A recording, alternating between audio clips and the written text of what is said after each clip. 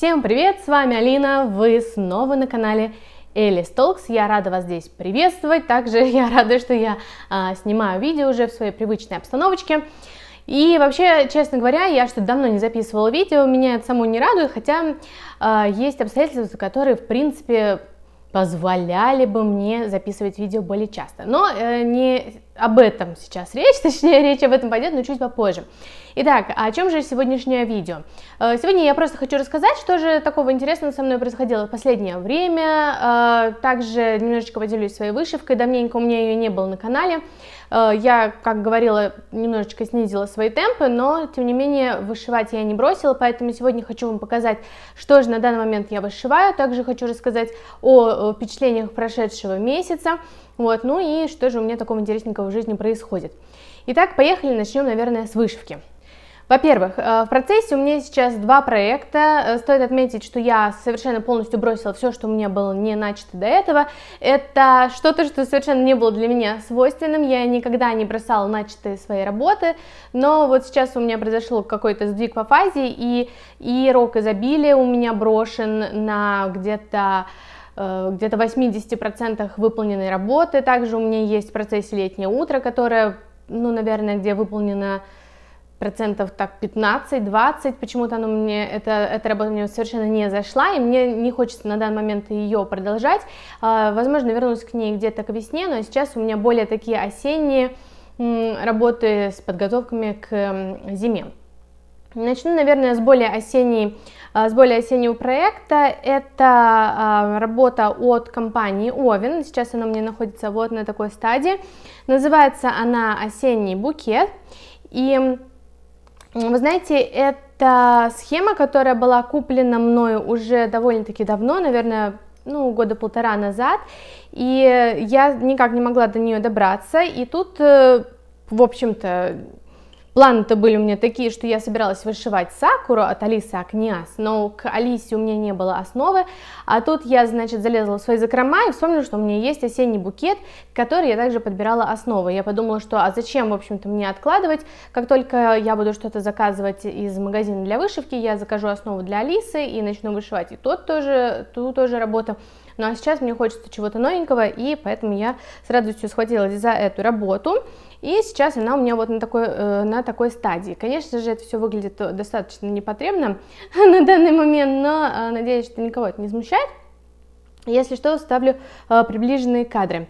Итак, я уже в предыдущих своих видео рассказывала, когда вышивала маяк от Овен, что мне кажется, что с Овеном я готова покончить, но э, не тут-то было. В общем-то, мне нравится их дизайн, и поэтому очень сложно обойти их стороной, тем более, что э, данный дизайн я покупала еще давно, еще, наверное, даже тогда, когда покупала э, тот маяк, и я решила дать Овину еще один шанс, у меня есть в закромах еще один от них наборчик.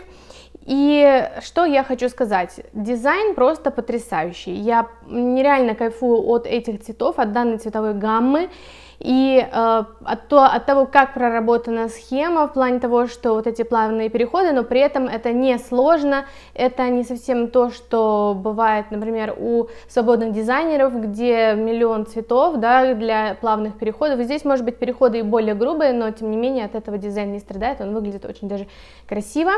И э, сама работа заявлена, да, и также как дана в наборчике, это Аида 18 каунта, хочу отметить, 18 каунта, представляете, насколько мелкая эта работа, э, и еще тогда, когда я подбирала э, данный набор, я сразу уже понимала и осознавала, что я не собираюсь вышивать это на Аиде, тем более на белой Аиде. Мне кажется, что подобные цветовые комбинации, какие используются в, данном, э, в данной схеме, все-таки будут лучше смотреться на какой-то другой, эм, на другой основе, и поэтому я выбрала для этого Belfast в оттенке крем. Также где-то я говорила, а может быть не говорила, наверное, это видео, кстати, до сих пор не вышло, о том, э, что я ненавижу вышивки, и там была основа Belfast. Я не очень люблю эту основу, но она у меня уже была, я подбирала ее задолго до того, как поняла, что я больше не хочу связываться с этой основой, поэтому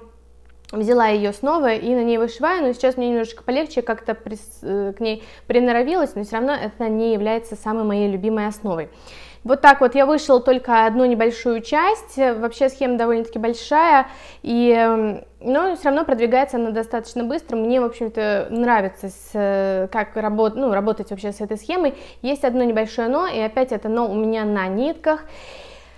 Как бы мне хотелось сказать, что Проблема с нитками была у меня только в одном наборчике от компании Овен, к сожалению, нет. В данном наборе, вот у меня сейчас нету под рукой этого органайзера, но поверьте мне на слово, буду потом вам еще показывать когда буду снимать видео отдельно об этом а, проекте, что, э, во-первых, органайзер сделан таким образом, что оттуда невозможно вытягивать нитки, потому что нитки смотаны вот так колечком и прикреплены, то есть не со свободным краем, когда можно вытянуть, да, оттуда ниточку, а вот просто закрыты, да, закрытым колечком. Поэтому пришлось переорганизовывать весь органайзер, но это одно но, второе но, в том, что нитки просто не были нарезаны. Некоторые нитки были длиною, вот не совру, сейчас одна нитка, первая была в длине 7 метров. 7 метров это фактически целый моток мулине, который был просто прикреплен к органайзеру. Что за фигня? Ну, ребята, ну на данный момент, когда на рынке столько конкурентов и делают такие обалденные схемы, когда э, компания Dimensions да, выпускает свои собственные нитки, которые лучшего качества, которые отличной просто длины, э, то компания Oven даже не досуживается нарезать свои нитки нормально. Мне кажется, что это просто неуважение, и, конечно же, даже от того, что дизайны такие красивые, все равно из-за того, что работать с этими нитками так сложно и проблематично, знаете, иной раз можно просто этому дизайну отказать в конце концов и купить что-то, что тебя устраивает по качеству больше. Вот. Но ладно, это такое как бы ну, не фигня, конечно, случается. Надеюсь, что компания Овен учится на своих ошибках. Э, и это то, что касается моего первого проекта, который у меня сейчас в работе. Ну, а мой второй проект, который я также снимала э, в своем предыдущем видео, это э, от компании Panna, и сейчас я вышиваю домик пряничный, и я вышила уже несколько деталек, и вы знаете, меня вот все устраивает. Вот это один из тех проектов, в которых, в принципе, мне не к чему придраться. А, у меня уже выполнено раз, два, три, да, вот здесь вот какие-то мелочи, но это все такое как бы маленькое, вот одна только основа, э, как это, начало домика, одна стеночка у нее не выполнена здесь, э, не заполнена, нужно заполнить одним цветом, я хочу взять э, эту стеночку с собой в качестве дорожного процесса, ближайшее путешествие, которое я буду, ну, собираюсь, и тут нужна одна нитка, которую я с собой возьму, наверное, заряжу сразу несколько иголочек, и будет удобно вышивать просто без схемы, без ничего, допустим, в самолете. Также здесь есть вот такой вот э, человечек, какие-то конфетки и так далее. В общем, все предельно мило и все предельно просто. В какие-то моменты, когда ты понимаешь э, систему, да, или схему, потому что рисунок, э, он, во-первых, синхронный, а во-вторых, э, он настолько элементарный, что начинает вышиваться какой-то определенный узор, и он так продолжается до конца то тебе просто не нужна схема. То есть для меня это проект отдыхалочка, который я беру по вечерам, допустим, или когда мне сложно сосредоточиться. Сейчас, когда мы были в путешествии, я тоже брала с собой эту а, работу и вышивала ее на пляже вообще без проблем и вышила вот одну часть э, домика. Нужно немножечко наращивать темп, потому что я вышила только точнее не вышла, а я в процессе до сих пор вышивания одного листа. Посмотрите на размеры этой схемы. Во-первых, масштабы просто удивляют, я имею в виду масштабы схемы, то есть это настолько огромная схема, что можно просто увидеть ее ну, действительно издалека. Это удобно, э, но меня еще ждет вторая часть, второй листик, и также э, все это нужно будет вместе собрать, и, конечно же, нужно немножечко поторопиться, потому что, ну, на данный момент я уже, уже на данный момент я рискую не успеть. Вот. Э, вот такие вот два проекта я сейчас вышиваю, и если вам была интересна только вышивка, то дальше я буду рассказывать о других вещах, которые с вышивкой не связаны, ну а если вам а, это также интересно, то оставайтесь со мной. Далее, вторая вещь, которую я хотела бы с вами поделиться, это моя последняя поездка. Я думала снять о ней как полноценный влог, но потом поняла, что, наверное, нет, потому что такие видео э, мало просматриваются, да и сама, если честно, я не очень часто смотрю э, влоги из путешествий каких-то других людей, потому что, ну не знаю почему, мне интересно путешествовать самой, но я очень редко даже сама пересматриваю свои влоги э, из каких-то поездок, поэтому решила вас не грузить, возможно, ставлю какие-то кадры, но чем мне хотелось с вами поделиться, именно своими общими такими впечатлениями.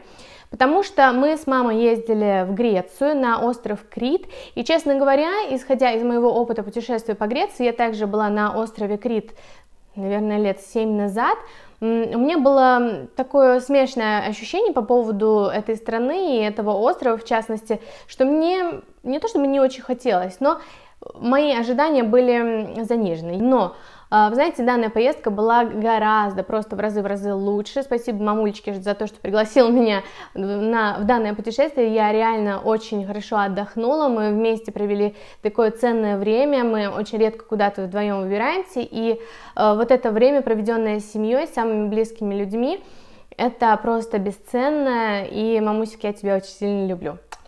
Вот. А, но что хочу сказать о том, что мы выбрали для поездки время октябрь, и я сомневалась, если это хорошее время вообще туда поехать, потому что это не бархатный сезон, так называемый в нашем представлении, то есть сентябрь месяц. А, по прогнозам, возможно, были дожди, также достаточно прохладно, но октябрь, а точнее первая половина октября, это отличное время, чтобы ехать в Грецию, и я вам это действительно советую в качестве поездки э, с детьми, в качестве такой, знаете, поездки, э, ну, по максимуму просто отдохнуть в комфорте, и погода была просто супер, был один единственный день дождь, и я его не застала, застала его моя мама, э, такой прямо хороший ливень, все остальные дни погода была просто супер, было солнечно, и температура была действительно комфортной, то есть около 25 градусов, даже немножечко поднималась до 28 э, в полудень, буквально пары дней. Э, ночью было немножечко прохладно, но все равно купаться было можно, вода просто отличная, чистейшая, чистейшая, кристально чистая вода, и вы знаете, природа в таком э, невзное, то есть, да, когда она просто выживает, выжженная такая земля, а все такое свежее, зелененькое, уже созревали гранаты, созревали апельсины, мандарины, конечно, еще их там было не так много, наверное, более ранние сорта начинали зреть, но, тем не менее, у нас был очень даже приятный улов, пару дней мы с мамой вышли на охоту за фруктами, и мы срывали прямо отличные такие свежие красные гранаты, апельсины, некоторые апельсины были еще немножечко, ну, такими зелененькими, кисловатыми на мой вкус, но что было просто обалденно, это были финики. Ой, финики, это были инжиры. А, инжир, а, это не тот инжир, который продается в магазине, такой фиолетовый, да, и это не сушеный инжир, это свежий, он более такой, ну, просто был зелененький, Э, но такая ароматная красная серединка, и мне кажется, что все-таки сезон для инжира чуть-чуть пораньше, мы застали уже его самый конец, но это было просто вау. Э, мы лопали его просто горстями, срывали с ветки, разламывали, съедали, в общем, это просто супер, и для тех, кто такой же помешанный как бы на вегетарианстве и здоровом образе жизни, это место, где просто вы должны побывать. Это свежая зелень, это э, помидоры, хотя я хочу сказать, что у нас в Саратовской области есть получше помидоры, э, но тем не менее это большие вкусные салаты, это оливки, это свежее оливковое масло, это сыр фета, просто обалденный, это свежие фрукты, в общем, классно, очень понравилось из мест, которые мы ездили, которые меня действительно впечатлили. Во-первых, это Ретимна, городок, мы вообще как бы отдыхали у города Ираклион, недалеко, эм, в небольшой исторической деревушке мы снимали виллу, но мы брали, снимали машину, и это, кстати, один из тех моментов, который сделает ваше путешествие на острове Крит просто в разы, в разы лучше, потому что сидеть в одном городе это все-таки скучновато, по эм, Криту нужно ездить, поэтому мы были в городе Ретимнен, это обалденный красивый город, маленький, такой симпатичный, погулять, очень классно, потом мне понравилось э, отдыхать в бухте Бали или Бали, э, точно я не уверена, чистая тоже вода. И третье, это очень такое сомнительное местечко, но которое, конечно же, оставило самое большое впечатление, как ни странно, это курорт Матала или Матала. Э, в общем, туда это он уже с севера на, се, на южной стороне острова, прямо перпендикулярно от Ираклиона, и э, это место, где раньше отдыхали хиппи, ну, в далеких 70-х годах, и Сейчас там просто очень много туристов, пляжный отдых там очень развит, там также там можно поесть морепродуктов, да, эм, и мы попали туда на так называемый Red Beach, если кто-то был на Крите, конкретно на данном курорте, вы поняли, о чем я говорю, но это, конечно, просто да. В общем, э, попасть на этот пляж нужно перейти через, ну, такой перевал, то есть через гору, и, во-первых, тут можно сочетать сразу несколько видов отдыха, то есть это хайкинг, э, да, это какие-то прогулки, также это пляжный отдых. Для этого, конечно же, нужно лучше взять с собой какие-то хорошие ботиночки, для того, чтобы подниматься по скалам. Э, вид оттуда просто нереальный, все мои самые классные фотки сделаны именно на фоне вот этой эм, бухты, но пляж Red Beach до сих пор является нудистским пляжем, ну так, 50 на 50, и на самом деле я думала, что он уже не нудистский, но нет, он до сих пор нудистский, и нудистов там прилично. Такое большое количество голых людей я никогда не видела, я не понимаю данного веяния, течения, эм, кстати, именно это, эти впечатления навели для меня тему для моего предыдущего видео про бодипозитив. Вот, но тем не менее, если у вас нет никаких заскоков по этому поводу, не обязательно там быть голым. Например, мы нормально в, ну, в плавках, как в купальнике, загорали, плавали, и много людей точно так же, потому что вода там обалденная, очень красивое место, э, стоит туда сходить, но будьте готовы к тому, что некоторые люди там лежат совершенно неглиже.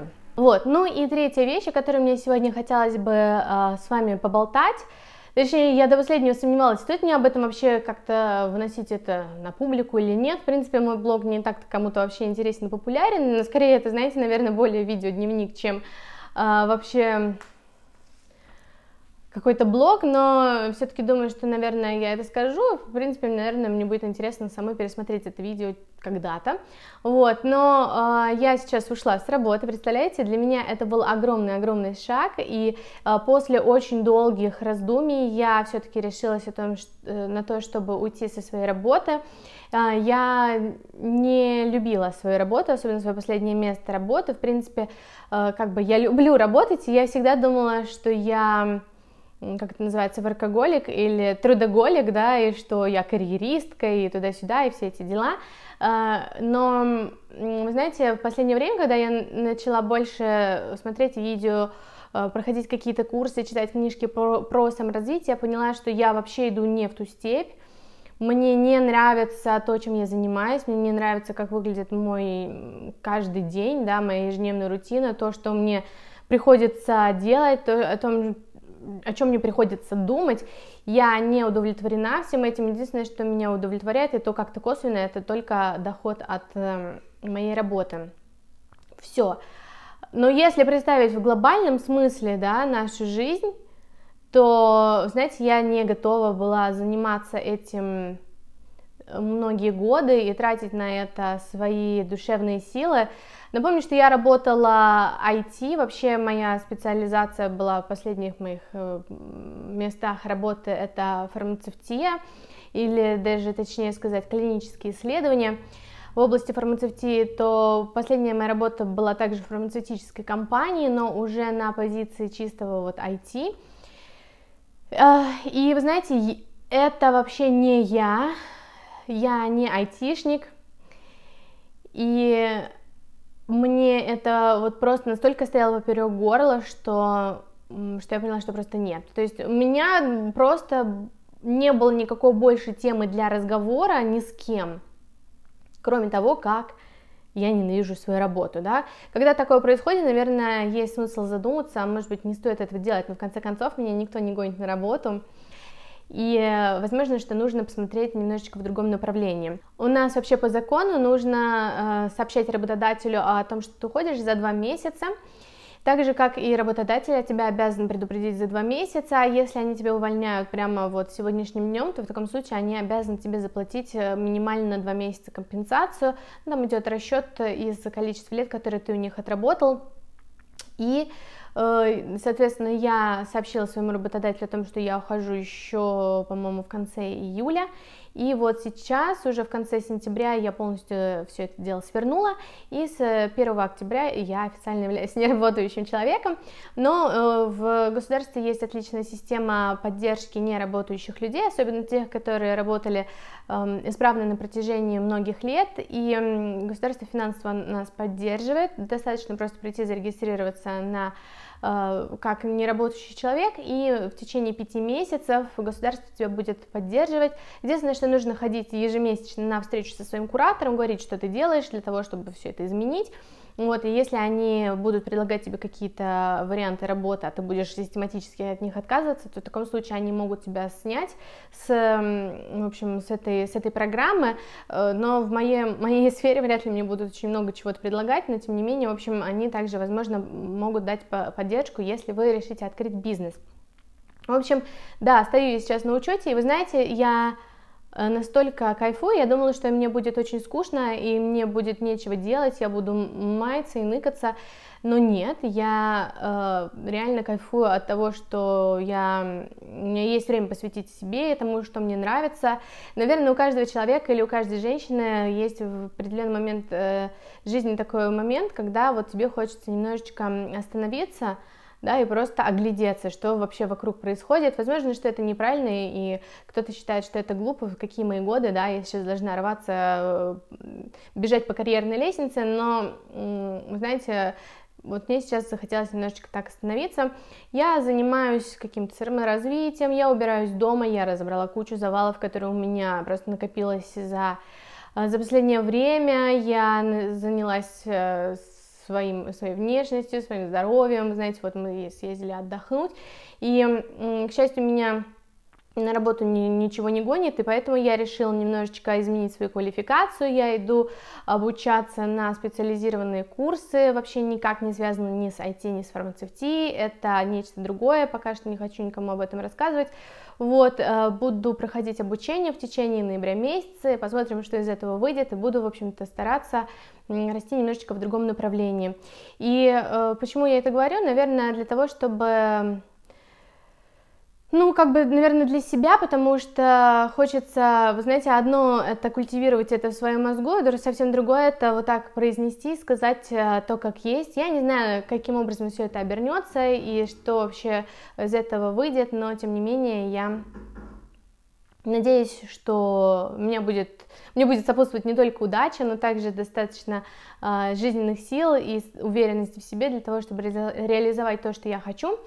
Но узнаем мы это уже гораздо позже. Кстати говоря, я думала, что у меня будет гораздо больше времени и желания записывать видео, но это почему-то не случилось, я так и не поняла, почему. Хотя, наверное, это связано с некоторыми техническими проблемами, которые я испытываю со своей эм, камерой и компьютером, точнее, у меня нету камеры, я все время записываю на телефон, а телефон у меня почему-то не хочет контачиться нормально с компьютером, и э, каждое видео для меня это какая-то борьба, наверное, если бы это все было попроще, все бы тоже записывалось гораздо ну, гораздо веселее, бодрее, что ли, вот, ну, в общем, такое, минутка эм, нытья, вот, но надеюсь, что этот момент тоже у меня будет в ближайшее время исправится, потому что я не хочу уходить с YouTube, мне очень все это, ну, как бы вдохновляет, вот, так что, друзья мои, это было все, что я сегодня хотела рассказать. Не знаю, видео, возможно, получилось таким немножечко долгим.